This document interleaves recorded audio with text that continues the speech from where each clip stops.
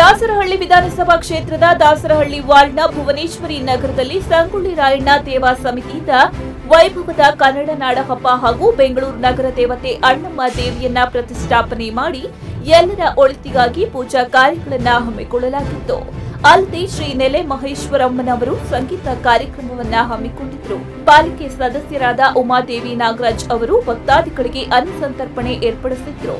ಭಕ್ತ ಸಮೂಹ ಅಣ್ಣಮ್ಮ ದೇವಿಯ ದರ್ಶನ ಪಡೆದು ಪುನೀತರಾದರು. ತಮ್ಮ ತಮ್ಮ ಇಷ್ಟಾರ್ಥಗಳನ್ನ ನೆರವೇರಿಸಿಕೊಂಡರು. ಮೂವತ್ತೇಳು ವರ್ಷದ ಸೇವೆಗೆ ಮೆಚ್ಚಿ ಪಾಪಣ್ಣರಿಗೆ ರಾಜ್ಯ ಪ್ರಶಸ್ತಿ ನೀಡಲಾಗಿದೆ.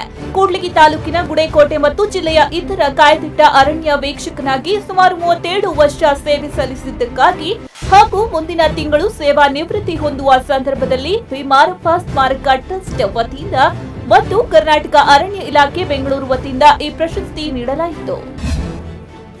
ಬಳ್ಳಾರಿ ಜಿಲ್ಲೆ ಕೂಡ್ಲಿಗಿ ಪಟ್ಟಣದಲ್ಲಿ ಕಬ್ಬಿನ ಗದ್ದೆಯಲ್ಲಿದ್ದ ಟ್ರಾನ್ಸ್ಫಾರ್ಮರ್ನಲ್ಲಿ ಉಂಟಾದ ಶಾರ್ಟ್ ಸರ್ಕ್ಯೂಟ್ನಿಂದಾಗಿ ಅಗ್ನಿ ಅವಘಡ ಸಂಭವಿಸಿದ ಪರಿಣಾಮ ಕಬ್ಬಿನ ಗದ್ದೆ ಹಾಗೂ ಜೋಳದ ಹೊಲ ಸುಟ್ಟು ಭಸ್ಮವಾಗಿದೆ.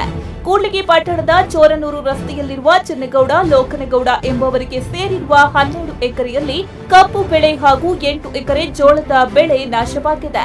ಎಲ್ಲವನ್ನ ಬೆಂಕಿಯ ಜ್ವಾಲೆ ತನ್ನ ನಾಲಿಗೆಗೆ ಚಾಚಿ ಆಭೂಷಣ ತೆಗೆದುಕೊಂಡಿದ್ದು, ಪರಿಣಾಮ ಸುಮಾರು ಇಪ್ಪತ್ತು ಲಕ್ಷಕ್ಕೂ ಅಧಿಕ ನಷ್ಟವಾಗಿರುವುದಾಗಿ ತಿಳಿದು ಬಂದಿದೆ. ಆನಿಕಲ್ ತಾಲೂಕಿನ ಅತ್ತಿಬೆಲೆಯಲ್ಲಿ ಸಿಎಎ ಮತ್ತು ಎನ್ಆರ್ಸಿ ವಿರೋಧಿಸಿ ವಿವಿಧ ಮುಸ್ಲಿಂ ಸಂಘಟನೆಗಳು ಪ್ರತಿಭಟನೆ ನಡೆಸಿದ್ವು. ಅತ್ತಿಬೆಲೆ ವೃತ್ತದಿಂದ ತಮಿಳುನಾಡು ಗಡಿವರೆಗೂ ಶಾಂತಿಯುತ ಪ್ರತಿಭಟನಾ ರ್ಯಾಲಿಯನ್ನ ಹಮ್ಮಿಕೊಳ್ಳಲಾಗಿತ್ತು. ಇನ್ನು ಪ್ರತಿಭಟನೆಯಲ್ಲಿ ಸಾವಿರಾರು ಮುಸ್ಲಿಮರು ಭಾಗಿಯಾಗಿದ್ರು. ಧರ್ಮಾಧಾರಿತ ಪೌರತ್ವ ಕಾಯ್ದೆ ಹಿಂಪಡೆಯುವಂತೆ ಪ್ರತಿಭಟನಾಕಾರರು ಒತ್ತಾಯಿಸಿದ್ರು. ಕುಡಿದ ಅಮಲಿನಲ್ಲಿ ಚಾಲಕನ ನಿಯಂತ್ರಣ ತಪ್ಪಿ ಟ್ರ್ಯಾಕ್ಟರ್ ಪಲ್ಟಿಯಾದ ಘಟನೆ ಬೆಳಗಾವಿ ಜಿಲ್ಲೆಯ ಗೋಕಾಕ್ ತಾಲೂಕಿನ ದುಪತಾಳ ಗ್ರಾಮದಲ್ಲಿ ನಡೆದಿದೆ. ಕಬ್ಬು ತುಂಬಿಕೊಂಡು ಮೇಲ್ಮಟ್ಟಿಯಿಂದ ಬೆಲ್ಲದ ಬಾಗೇವಾಡಿ ಸಕ್ಕರೆ ಕಾರ್ಖಾನೆಗೆ ಹೊರಟಿದ್ದ ವೇಳೆ ಈ ಅವಘಡ ನಡೆದಿದೆ. ಚಾಲಕನ ನಿರ್ಲಕ್ಷ್ಯದ ನಡವಳಿಕೆಗೆ ಸಾರ್ವಜನಿಕರು ಆಕ್ರೋಶ ವ್ಯಕ್ತಪಡಿಸಿದ್ದಾರೆ. ಅದೃಷ್ಟವಶಾತ್ ಯಾವುದೇ ಪ್ರಾಣಾಪಾಯ ಸಂಭವಿಸಿಲ್ಲ.